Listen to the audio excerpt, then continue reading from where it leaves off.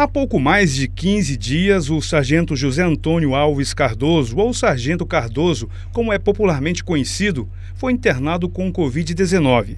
Recentemente, o quadro de saúde do sargento se agravou e, para se manter com vida, ele precisa urgentemente da ajuda de um aparelho que é capaz de funcionar como um pulmão artificial.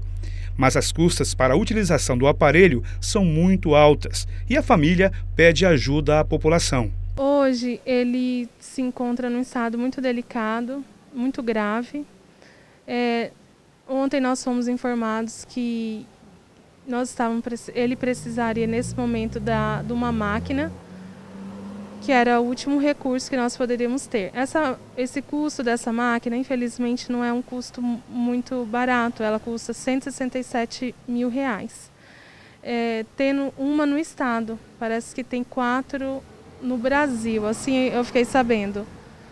É, nós ligamos juntamente com a família e amigos, com a, a Polícia Militar, é, ligamos, fomos atrás e conseguimos essa máquina.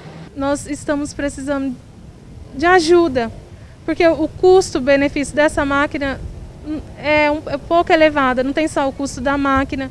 Eu queria muito pedir ajuda é com, seja com, oração, com orações, ou seja, com valor que tocar no seu coração, independente do valor, independente o que você puder dar, e se você puder, e se não puder, faz orações.